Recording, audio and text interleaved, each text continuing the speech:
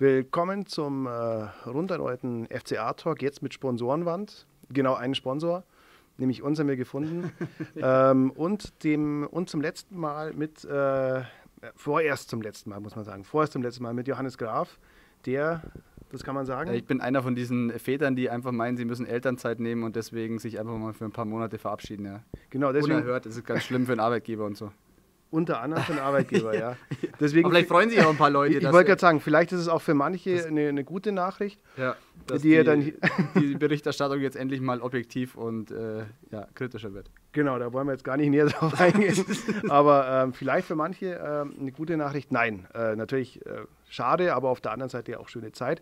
Äh, beim FC Talk geht es aber vor allem um das nächste Spiel des FC Augsburg gegen Hannover.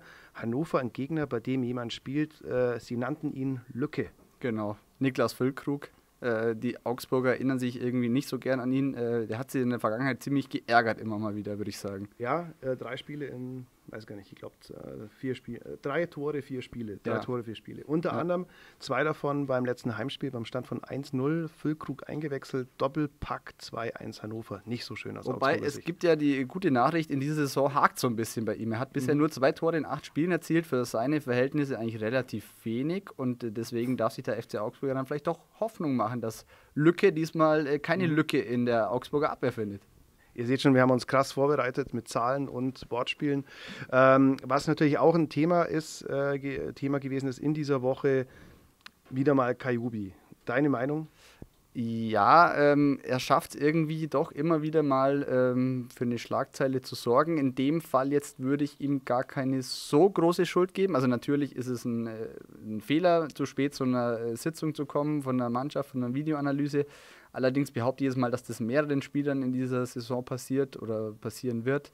Also den Fehler an sich, der ist jetzt nicht schlimm, aber natürlich, wenn man den ganzen Hintergrund kennt von Kajubi, wie er zu spät aus dem äh, Urlaub gekommen ist, äh, die Ermittlungen, äh, alles, wenn man das alles zusammen äh, sieht, dann ist es natürlich dann doch wieder ein Fehler, der irgendwann dann mal dann doch den Ausschlag geben kann, dass äh, vielleicht der Trainer und Verantwortliche mal zu einer anderen Meinung über Kajubi kommen, als sie bisher kamen.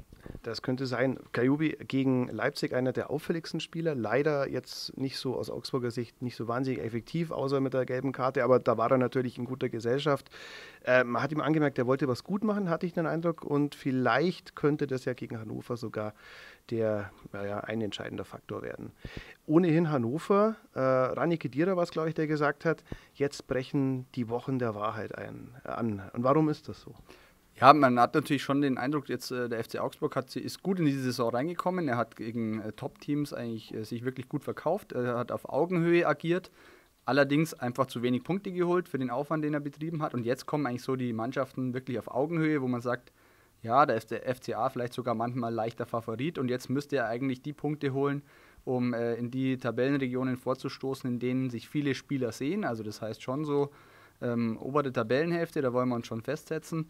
Ähm, und man hat jetzt Gegner mit, ähm, ja, mit Hannover, dann Nürnberg.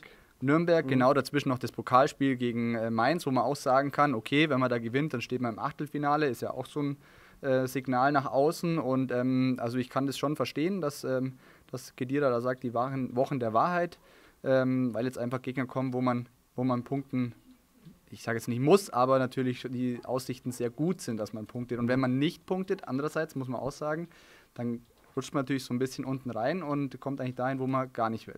Oder um es mit José Mourinho zu sagen, I won't say that we must not win, uh, don't say that we have to win, but we must not lose. Yes. Ja, okay. also Wochen der Wahrheit für den FCA.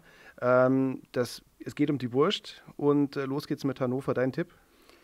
Ähm, boah, ist immer schwierig. Also Hannover ist so, ein, so eine Mannschaft, ja, weiß ich nicht richtig einzuschätzen. Ähm, wird ein ganz enges Spiel. Ich sage mal, der FCA gewinnt 2 zu 1. Na, das ist doch was. In diesem Sinne, vielen Dank und bis bald oder bis später. Ciao.